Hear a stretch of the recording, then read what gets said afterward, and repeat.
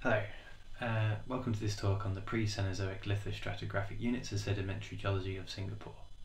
I'm Tom Dodd. Uh, I work for BGS um, on the on the BCA contract that looked at the geology of Singapore, which was between 2016 and 2018. I've been stud- studying the bedrock of your nation for the last five or so years, and it's been an absolute pleasure to look at your data sets and, and work on your geology. Um, much of the work within this talk um, is, is based upon the published works, which include the uh, Singapore Geology Memoir of 2021, which accompanies the new map, which is just about to be released or has just been released, depending on the timing of this talk. But also, in the details of the lithostratigraphic um, framework are contained within Dodd et al. 2019, entitled Paleozoic to Cenozoic Sedimentary Bedrock Geology and Lithostratigraphy of Singapore, which was published in the Journal of Asian Earth Sciences. For further details, you can uh, look at uh, a slightly more detailed study, which was also published in JAES, um, entitled Deep to Shallow Marine Sedimentology and the Impact of Volcanism within the Middle Triassic Paleotethyan Semantan Basin, Singapore, and that is Dodd et al. 2020, which followed the, without further ado, um, I thought I'd just give you an overview of what this talk's going to look focus on. Um, in this talk, we're going to look at um, a lot of the uh, pre-Cenozoic succession. And by that, I mean these formations and groups within this part of the the uh, stratigraphic model from Dodd et al. 2020, 2019. Tim Kearsey, in another part of the seminar series, um, looked at the uh, the criteria to neogene successions to these formations in some detail. So we're not focusing on these today, but we will go over all of these units, groups, formations, members um, in some detail. You can separate the stratigraphy out into some key areas. Um, you've got the Carboniferous stratigraphy at the bottom of the pile, the Triassic Age stratigraphy, which includes the Jurong and Sentosa groups, and very important to the geology of Singapore.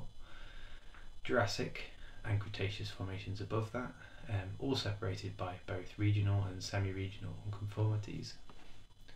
Within this talk, we look at the formations in particular and also the members and provide a, a, a rudimentary uh, understanding of um, the, uh, the character and composition of each of the formations, specifically diagnostic criteria.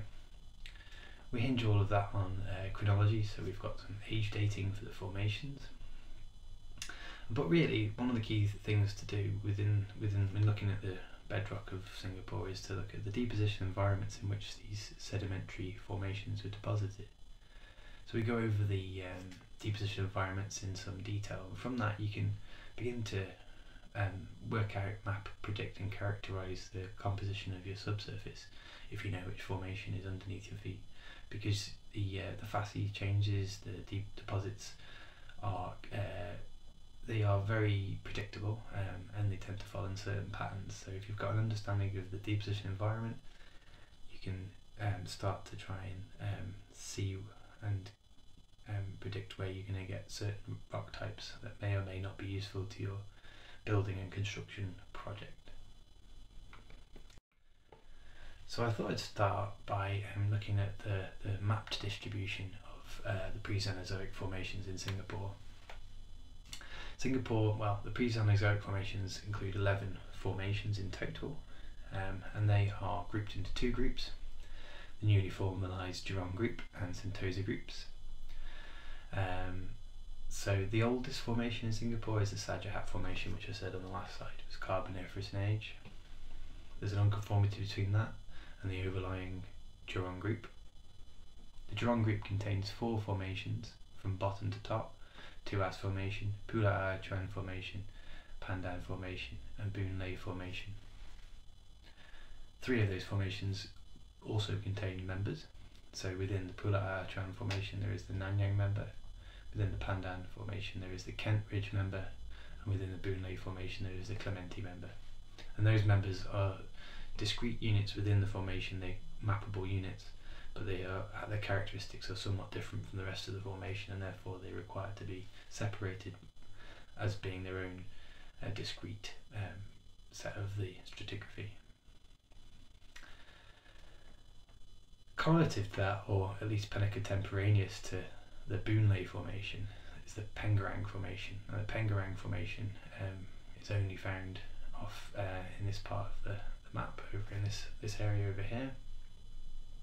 And it might be more allied with the geology in Malaysia because you have to consider that Singapore's geology doesn't stop at its coastline and geology um, transcends national and international boundaries and so uh, we have to think about the wider context of the geology of Singapore and how it fits within regional geological models so it's just something interesting to think about.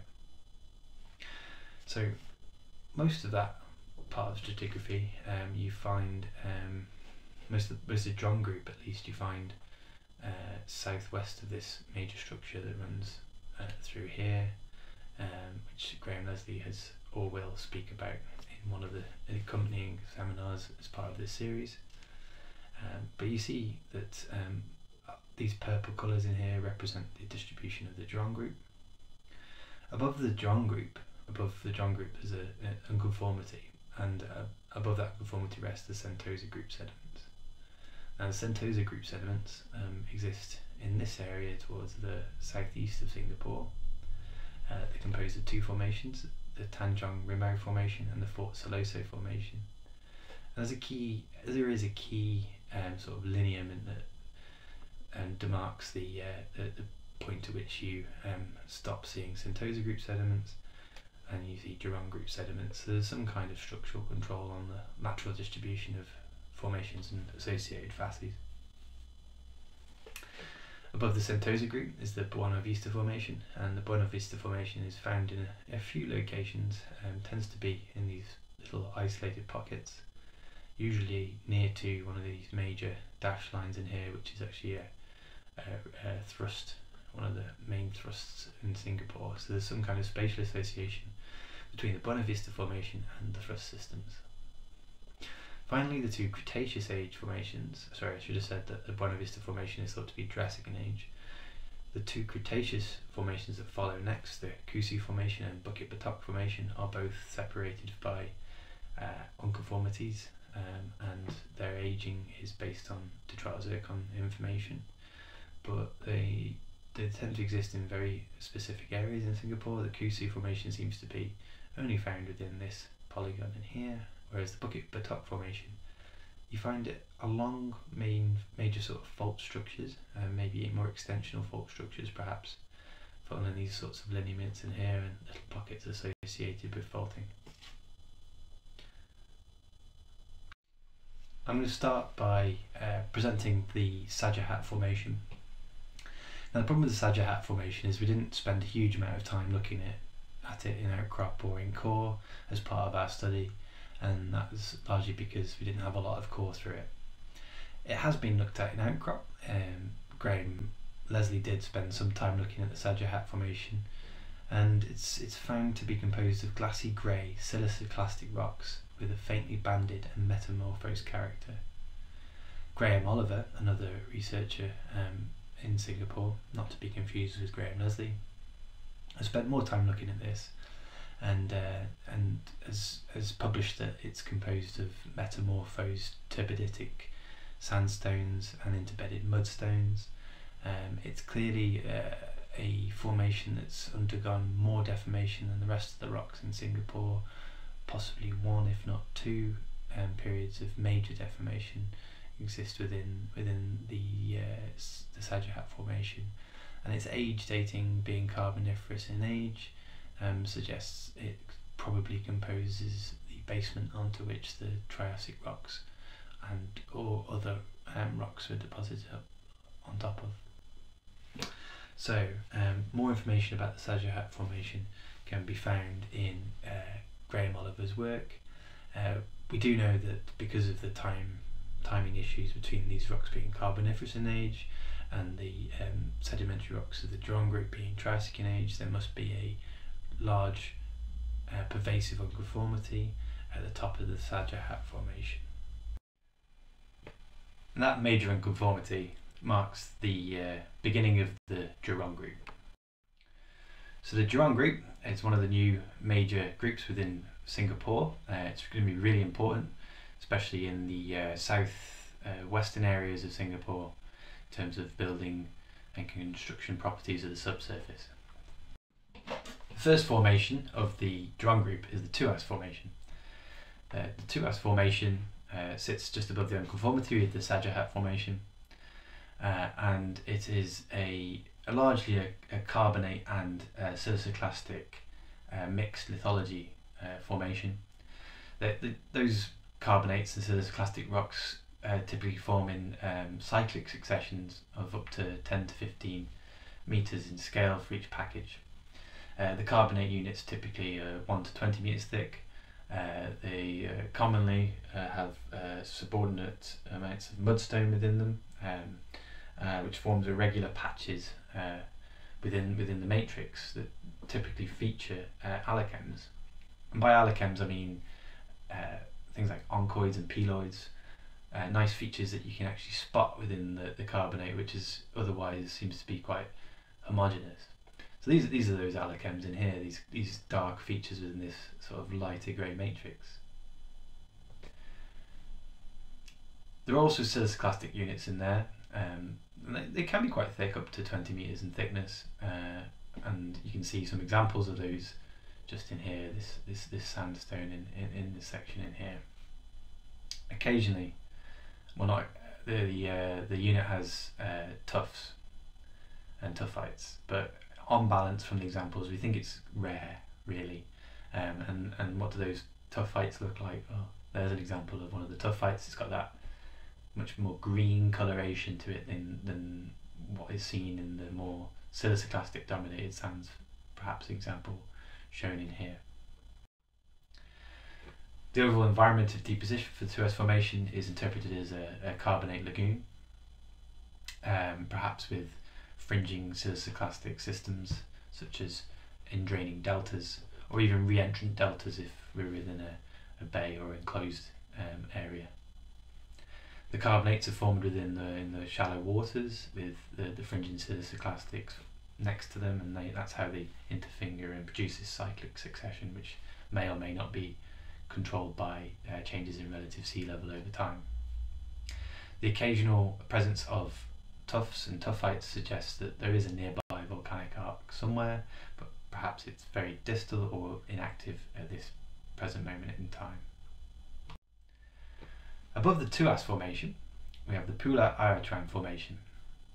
The Pulau Ayer formation, we think, sits pretty much conformably on the Tuas formation and is composed of largely siliciclastic sandstones and mudstones. They form a, an interbedded, interlayered succession of cleaner sands, uh, more muddy units, and even some more debritic units in here shown by that stick. Uh, the sand grains that you see within the coarser grain units typically subangular to subrounded, so a range of maturity. They can contain intraformational mudclasts, which are quite common. Um, so uh, mud that's been ripped up from the substrate and deposited within the sand. The layers of mudstone that you see are typically dark grey to black, they're laminated, they're siliciclastic, and they really do reflect hemipelagic deposition in the background environment. The conglomerates, however, uh, are quite different. They have quite a mixed clast assemblage of carbonate rock, granitic rock, and uh, mudstones.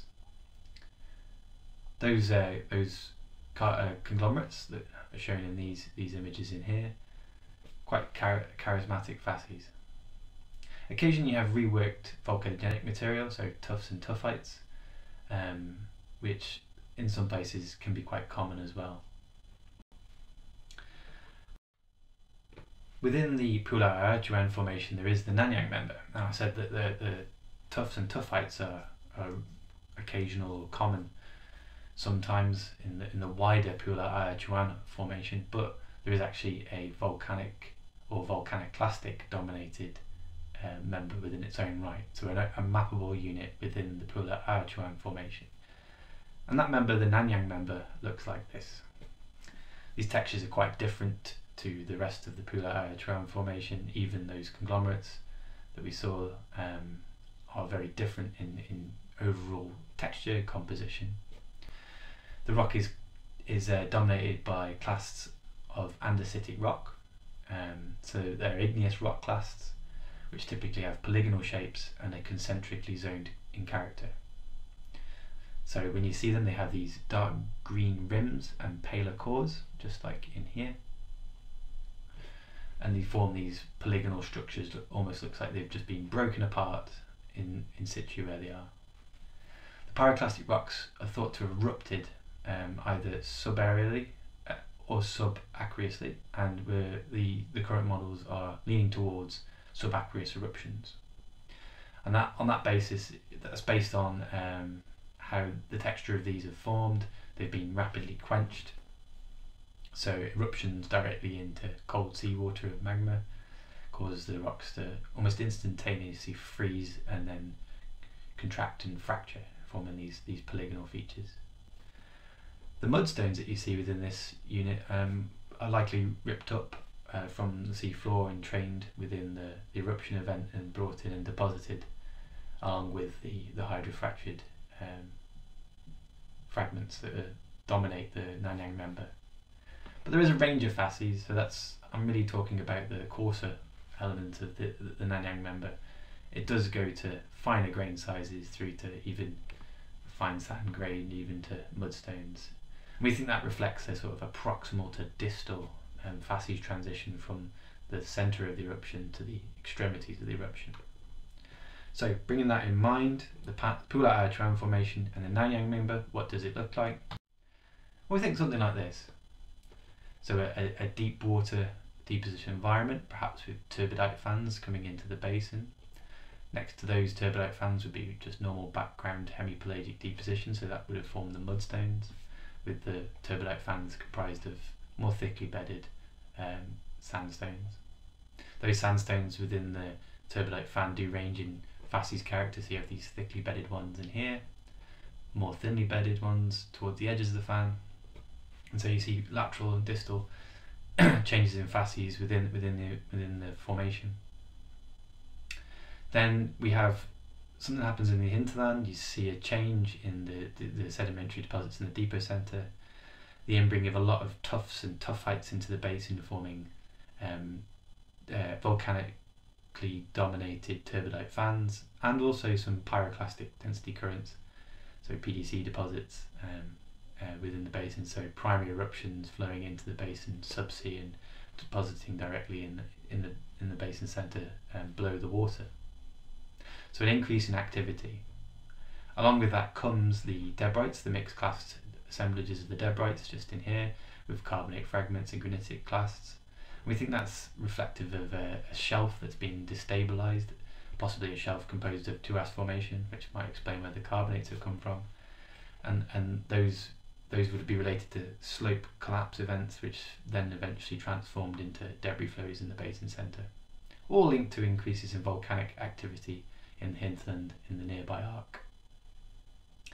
And then that culminated in the eruption of the uh, Nanyang member deposits, so the these formed um, those quench textures that I was talking about, which also referred to as hyaloclastites. And those hyaloclastites may have formed in uh, mounds or ridges, depending on the geometry and orientation of the eruption vents. But they would have formed on the base, the bottom of the seafloor, and are interbedded or laterally equivalent to other uh, deposits within the, the wider Pulau Chuan formation and within the deep water environment. There's lots more information on this um, within those published works that I referred to at the start of the talk, but more specifically within Dodd et al. 2020, um, so you can find out lots more of information about that really interesting story in that. Moving on, we think there is a minor unconformity between the top of the Pulau Chuan formation um, and the overlying Pandan formation, which I'm about to talk to about, about you next. The Pandan formation Pandan Formation is a largely a, a carbonate dominated formation. It's thickly bedded, homogeneous micritic limestones in general, and those intervals can be up between 5 and 50 metres in thickness, so really thick limestones. These limestones generally lack uh, at the allochems, so things like peloids and oncoids, you don't tend to see them as much, whether that's preservation or whether they never formed in the first place. An interesting research avenue to follow. Occasionally you have thinly and thickly bedded layers of tuff and tuffite within the Pandan Formation. and even more rare interbedded layers of sandstone and mudstones. So occasionally you get some siliciclastic sediment being brought into the environment, but um, that very quickly gets um, redominated by the carbonate deposition. Key features of the, those carbonates are these black um, sort of sinuous features that run throughout the core, and these could be reflective of either some form of um, pressure dissolution uh, feature, or they may be a, a relict uh, nodular bedding that you form within carbonates, or both. Here's just another example with in, in a bit more of a close-up of, of the general character of the Pandan Formation. And there are some rare examples where you see some more, some allochems, some shelly fragments. And this is a, a cut through one of a, a sort of bivalve shell. shell. There is some of that, but it's not to the same extent uh, or quality or visual character as you see within the carbonates within the Tuas formation. I mentioned that tuff was you see it rarely sort of meter scale tuffs or sub meter scale tuffs within the Pandan formation, but actually there is a whole member within its own right that is composed of largely tuff and tuffites, um, which is a mappable unit within its own right, and that is known as the Kent Ridge member. Uh, these rocks consist of largely lapilli tuffs um, with significant proportions of fiamme, some lithic fragments and crystals in an ash grade matrix, so they're all set within that, that matrix. Most of the fiamme are green, sort of 50 millimeters long, and tend to be flattened and aligned. So that, that flattening and alignment can be sort of seen in this example here. Most lithic clasts are less than 30 millimeters in size and formed of porphyritic volcanic rock. Um, and there are also entrained crystals of up to 4 millimeters in diameter, composing of quartz and feldspar. So really is a volcanic dominated part of the uh, of the of that formation and of the Kent Ridge member. Deposition environment. What? How do we look at the Pandan formation and Kent Ridge member? Well, we think it was a low energy carbonate lagoonal sort of setting. Um, we think that there was low volumes of clastic input into the system, so you had quite continued and persistent carbonate production in a really low energy setting, which is why you've mainly got micritic muds to preserve that, you might have had um, generation of accommodation space in the basin, which allowed you to deposit and uh, basically build up such a thick succession. The, the, the tuffs and tuffites of the Kent Ridge member are easy to reconcile in that uh, they may they, they likely reflect volcanic eruptions in the hinterland, uh, which then flowed out into the into the basin centre and formed these thick tuffs in the, in the carbonate lagoonal setting. They're pretty immediate, so you have carbonate production, then you tuff, and then it back to carbonate production. So it's it is a a isolated event or relatively isolated set of events temporarily that formed that, that Kent Ridge member um, along the basin during this time.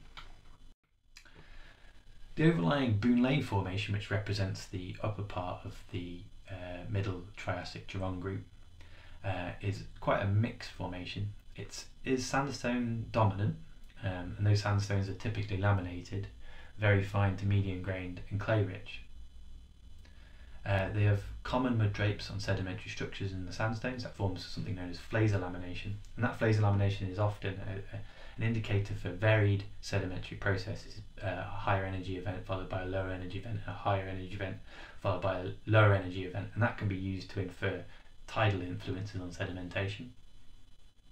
The sandstone packages commonly coarsen upwards and have interbedded thin layers of mudstone.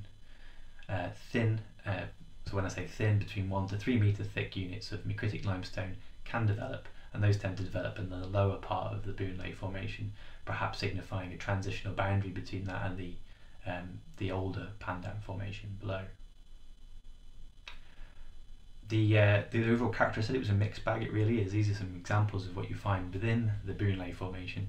These are these sandstone dominated um, successions with these um, parallel laminations of with composed of mud drapes.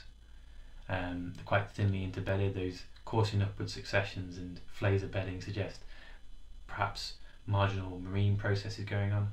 But at the same time, you find areas of a core where you see this mottling, almost a pedogenic texture forming in here, so soil or, or proto soil development perhaps. So quite shallow waters in some areas, if that's the case. Uh, this is showing the influence of um, tuffs within within the succession. You do sometimes see volcanogenic material being brought into the Boon Lay Formation, but it tends to be less dominant than all of the formations that preceded the Boon Lay Formation. The sediments can be pretty poorly sorted, pretty immature, pretty mud rich. Um, they can be more moderately sorted or quite well sorted. So it is a mixture of things, and that is really indicative of a marginal marine setting where you have interplay between the terrestrial fluvial, usually fluvial dominated processes, sometimes alluvial, and the marine dominated um, shallow water processes. And as sea level varies, you get this mixed um, system. The Boon Lay Formation has one key member, the Clementi member. The Clementi member uh, uh, basically is all of the really quite shallow water versions of the Boon Lay Formation. Uh, it's a mappable unit within its own right. And it consists mainly of reddened, so red, reddened in this example is really useful to identify the Clementi member. Um, it's reddened paleosols, and those are, those are thought to be andesols and altisols, so um, volcanic um, soils that have formed paleosols and also waterlogged soils. And these tend to form beds between 5 and 20 metres in thickness and they're interbedded um, with unreddened fine to medium grain sandstones. So you have some clastic material being brought into these settings along with the, the, the reddened volcanic landscapes. The reddened paleosols are also found in the Boon Lay Formation, Fort Siloso Formation and the Bukit Batok Formation. So red paleosol does not necessarily equal Clementi member. It needs to be thought about in context. Um, so uh, just something to be aware of. The alteration associated, associated with paleosol development produce strong colours. And those strong colours are diagnostic of um, alteration of paleosols.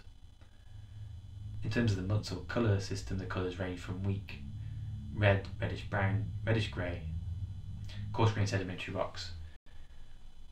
Uh, so we're talking about conglomerates really, um, or very, very coarse uh, sandstones generally are absent from this member. The Pengerang Formation, uh, we've put it within the stratigraphy next to the Boon Lay Formation because lots of reasons why, and that's within the um, the memoir. You can go and read more about that in there. But we think it's largely correlative with the Boon Lay Formation, and that's because it's largely dominated by pyroclastic rocks, either pilly tuffs and tuffs. It has embedded rock fragments um, 50 millimeters in diameter, um, so it's generally suggesting it's a lapilli tuff dominated formation, um, and it's andesitic in, in, in origin in some parts, with andesitic fragments being set in a ground mass of irregular feldspar lathe, glass and opaque ore. So that's that's a quote taken from DSTA 2009, which you can go read more about. And we haven't done a lot of work on the Pengerang formation within our study, but using that as a description and comparing it to the descriptions of the Boon Lay and certainly the Clementi member of the Boon Lay formation, it makes most sense that these are correlative. The overall environment for the Boon Lay formation, uh, we think, as I was saying, it's a marginal marine setting. Um, I think mainly what in Singapore, perhaps sort of this marginal area that fringes fringes is probably the most um, accurate parts of the Boon Lay formation that you have uh, within your bedrock uh, in Singapore. You have these perhaps marginal marine systems bringing in fluvial um, material into the into the deeper centre, marginal marine lagoons, even shallow marine um, successions fringing deltas. Perhaps there's um, more distal equivalents to the Boon Lay Formation to be found elsewhere outside of Singapore. It would make sense that any marginal marine system drains into a deeper water system um, that's temporarily associated with and then the volcanic clastic um, uh, part of the system, uh, represented by the Clementi member, so a volcanic landscape with eruptions and then pedogenesis forming andesols and more waterlogged areas, perhaps um, in other along strike locations forming altisols, um, but quite a long-standing um, set of processes that open over thousands and thousands of years to form those types of soils. So uh, um, when we think about uh, the Jurong group in context, where was it formed? We think it was formed within a, basin depocentre just in here, um, which is somewhere between uh, the Paleotethys Ocean out towards perhaps the uh, uh, modern day southwest and uh, the Sukhothai Arc, um, which forms much of the um, the bedrock geology, such as the Bukit Timah Centre in, in Singapore. And we think that uh, this this basin depocentre was the location of the Pulau Ayer Chawan Formation and the Pandan formations. Uh, perhaps the Tuas as well was deposited in the in the basin centre in here, but certainly during Pulau Ayer Chawan formations and Pandan formation times, it was receiving a lot of volcaniclastic material from the Sukhothai Arc, which was likely active during that time. We see the, the turbidite dominated sandstones, the debris flows from a, an unstable um, shelf edge, and uh, so quite an active setting. And as we progress through time, um, Sibumasu's sort of on its way towards the Sukhothai Arc, ready to collide with it. The uh, the Paleotethys is shortened. There's a subducting slab going underneath here we think during this time perhaps the arc was less active and that um, enabled the unroofing of the, uh, the erosion of the Bukit Timah centre forming um, the Boon Lay formation perhaps um, and certainly the ensuing formations of groups um, later on in the talk. But the, the key thing to notice is that we go from um, deeper water or shallow marine settings in the in the first three formations of the Jurong group, and then by the time we get to the Boon Lay, we're in that marginal marine setting. Perhaps facies belts are shifting um, towards the basin centre as the basin centre area becomes restricted and accommodation space um, ceases to be developed or is reduced because of um, compressional tectonics going on. So, um, following the Boon Lay formation, there's a major unconformity that separates the uh, group from the Sentosa group. Sentosa Group uh, is the other newly uh, recognised group within Singapore. It's composed of two formations, and those formations are the Tanjong Rimau Formation and the overlying Fort Siloso Formation, so just in here. We're going to focus on first on the Tanjong Rimau Formation. Um, the Tanjong Rimau Formation is characterised by quite coarse-grained, very immature, poorly sorted angular to subangular quartz-rich sandstones, and one to four millimeter, sorry, one to four meter thick mudstones, which are thinly interbedded with very fine to medium grained, well sorted sandstones. Con there's also conglomerates. Those conglomerates have a uh, distinctive clast assemblage, composed of white vein quartz, volcanic rocks, extraformational siliciclastic rocks, and metamorphic rocks. Importantly, they lack rounded cobble to boulder grade clasts that we think are indicative of uh, another formation within Singapore which is much younger. This is what it kind of looks like in core, um, and here's some examples in outcrop from Pulau Tekukor and and uh, Siloso, Fort Siloso. And uh, you can see that the, the character in core and outcrop is pretty nice. It's pretty. Uh, you see the same features in both core and outcrop. It's pretty indicative of the formation, and, and it really is these immature sediments that you can see in here. These this immature clast supported conglomerate. Some parts of it are better sorted, so you do get very well sorted sands in there as well, and occasional quite white, highly altered or weathered mudstones in between the coarser grained deposits. We think the Tanjong Rimau formation, those coarse grained deposits, were formed and deposited within a fluvial system. And that fluvial system was braided to meandering, in that we have fluvial channels, um, carving um, their way through. Uh, next to those fluvial channels, in some places you have um, point bars or attached bars, um, forming uh, a, a, characteristic uh, meandering type deposit. In other areas, you don't you tend to have in channel bars. Um, uh, and more more channel dominated deposition and perhaps more reflecting a, more of a braided system. So it really is a mixture of two different fluvial systems um, that form this, this unit. Next to the fluvial channels you have standing bodies of water where those mudstones may have formed that we, we see in between in between the channel systems. And in some places, um, like on Jong Island for example, you see um, more alluvial dominated deposits. So there's there's a civi deposits on on Jong, and uh, that might reflect um, marginal or edge alluvial fan systems that are draining into the basin. Above the Tanjong Rimau formation, we have the Fort Siloso formation, and in general, if you're going to compare the two formations, the Fort Siloso formation is much finer grained. It's composed dominantly of clay to silt grade siliciclastic mudstones interbedded with very fine to fine grained, very well sorted, very mature sandstones. And the sandstones throughout, whenever you see them within the Fort Siloso, they tend to be subangular grains but very, very well sorted. So thinking of a, uh, a low energy setting with um, low energy channels coming in perhaps. What does it look like in core? This is pretty indicative of it in core. You see these dark mudstones, these dark red mudstones with these flaser laminations in here. These are these are flaser laminated ripples in here. Um, and then you occasionally have uh, slightly coarser grain, maybe um, very fine grained sand fine grained sand cross bedded units in here. Um, the cross bedding tends to be quite thin, and um, they they form as these sort of channel lenses. So if you follow my cursor, this is actually the base of the channel just in here. And it kind of comes up here and has a feathered edge, and that's infilled with those thin bedded, cross bedded sands to flaser ripple laminated sands If you want to see what those sort of ripples look like, um, other types of ripples do exist as well. Um, so in here you have these these um, current ripples, um, but largely it is flaser laminated.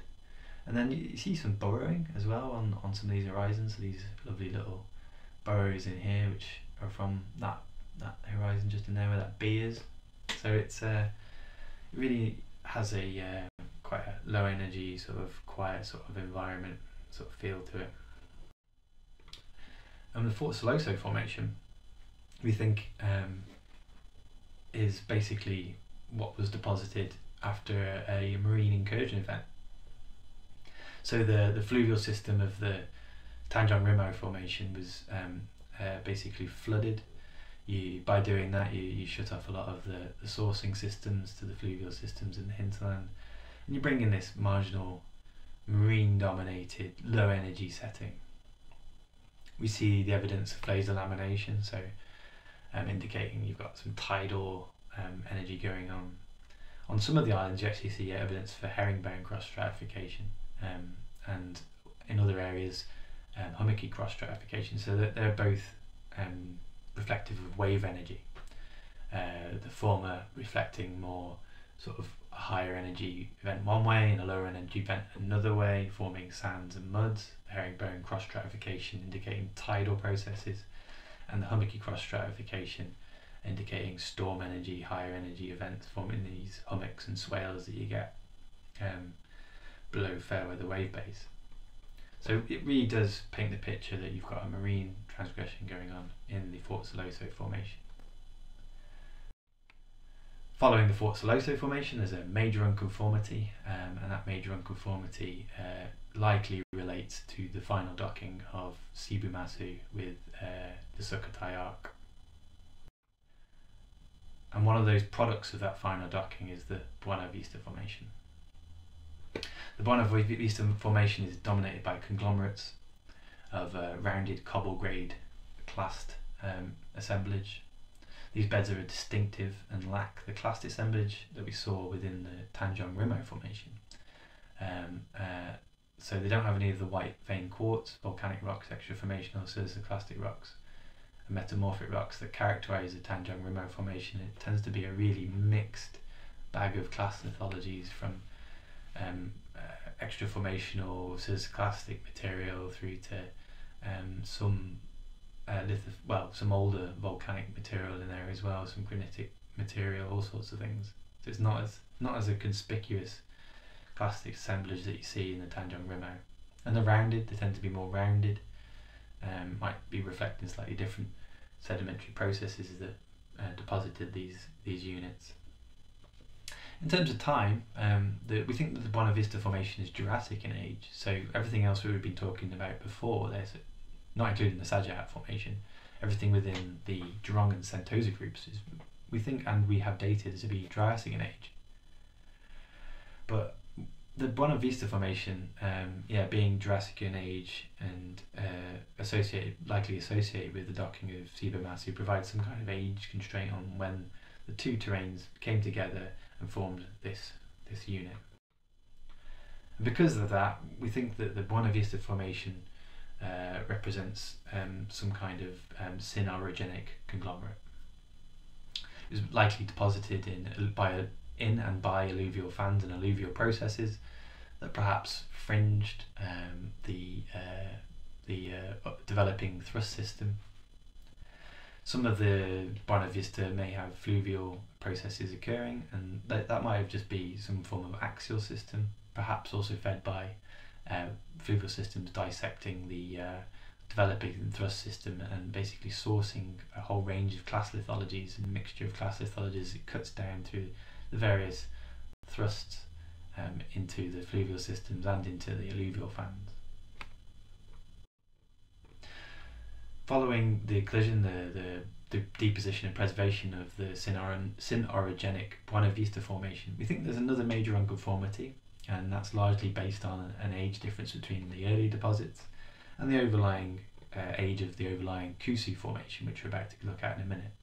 But also, you can spot this unconformity outcrop um, so there's an example of that, that conform- unconformity with these steeply dipping beds in here, overlain by this this um, this horizon in here, and deposited on top of that horizon or that unconformity, you have the Kusu formation, um, with the beds dipping much more shallowly compared with the the Tanjong Rimau formation below. So this we think is one of these key unconformities in Singapore.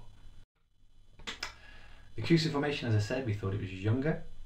Uh, we we think it's uh, Cretaceous in age, and that's based on some geochronology, which is within the explained within the al. 2019 paper and within the memoir. Um, the Formation is quartz-rich, thickly bedded, um, and composed largely of sandstones. Um, and those sandstones are very well rounded, medium to coarse grained, um, quartz-rich, and um, you can see well developed quartz overgrowths the rock lacks the recrystallization and penetrative fabric that would be associated with deformation and metamorphism. And so uh, that that suggests that these well, it sort of supports also that these are probably younger deposits in that they haven't gone through the same kind of collisional tectonics that the Triassic has when Matsu collided into the Sukhothai Arc, and instead it's much younger and less deformed. We think the Kusu Formation um, was deposited in perhaps uh, by fluvial processes. Um, above the Kusu Formation, um, there's uh, another minor unconformity, um, and that unconformity is interpreted largely on the basis of age dating of the following formation, the Bukit Batok Formation. So, the Bukit Batok Formation um, we think is quite a bit younger than the Kusu Formation. We think it's Aptian in age, whereas the Kusu formation is probably Berriasian in age. That's based on um, geochronological um, detrital zircon dating um, as described in Dodd et al. 2019. Like the Kusu formation, these sands are um, less deformed um, and less metamorphosed. You can see the sand grains really clearly. Um, the sandstones themselves are fine to medium grained, well to very well sorted, um, and they're interbedded with common examples of mudstones. And those mudstones are really dark grey to black in character. There probably are or were at some point in time organic rich, um, and you see lots of evidence for um, soft sediment deformation, particularly at the base of the sandstone units when they load into those dark grey mudstones. The rock lacks, as I said before, the, the, the rock lacks that recrystallization and penetrative fabric, and so you can be pretty sure that these sediments haven't been through the same deformation event that the the older Jurassic and Triassic formations in Singapore have. They look very different in character when you compare images of these two formations. And overall, I said the Kusu Formation was deposited by fluvial processes. We've seen more examples of the Bukit Batok Formation in core and outcrop, and we could be more confident that uh, the Bukit Batok Formation is fluvial dominated perhaps fluvial deltaic. Um, so, and the, the fluvial deltaics uh, will have flowed out towards a, into a, a basin depocentre. So that may or may not have been located to the northwest. That's pie in the sky kind of interpretation here, but that just sort of gives an, an idea that it's flowing somewhere. We think that it's a relatively mature fluvial system because of those well sorted sands, quite a large fluvial system um, with standing bodies of water on the floodplain next to the channels, forming those dark grey mudstones, those organic rich mudstones perhaps in standing bodies of water that may have may be formed by as oxbow lakes if it, the system was meandering. Um, we don't need know enough about it to be able to say one way or another, but perhaps an area of research. But one key thing about the Bukit Batok formation is that uh, in earlier slides I, I said that the Bukit Batok formation was constrained to linear belts, usually following major structures, and perhaps that um, reflects those the, the the influence of those major structures to control where those fluvial systems flowed. So maybe they were fault bound. That's one possibility. The other possibility is that the fluvial system is everywhere, and it's just that those faults preserve a bit of the younger stratigraphy which has otherwise been eroded off. Something to be explored in the future. So, that was the pre-Cenozoic lithostratigraphic framework for Singapore. We looked at 11 formations, three members, and those formations have been grouped into two groups, the uh, Jurong group and Sentosa group. Each formation has a specific set of diagnostic criteria which you can find within Dodd 2019 and the memoir, as well as many variations within that formation as well. So look for the diagnostic criteria and then note anything else because there might be extra things we don't know about that formation that need to be recorded and built into the diagnostic criteria in the future. The sedimentary environments of deposition fundamentally control the preserved rock record. That's true for any any sedimentary environment. The sedimentary processes within that environment will either deposit sand or mud or mixtures or carbonate. So um, you can use that and you can use an understanding of those processes to predict where and what kind of rock types you'll find in the subsurface, which is really useful. Because if you build up an understanding of the, for example, the Tuas formation, you can start to predict where the turbidite fans are going to be and where the background muds are going to be.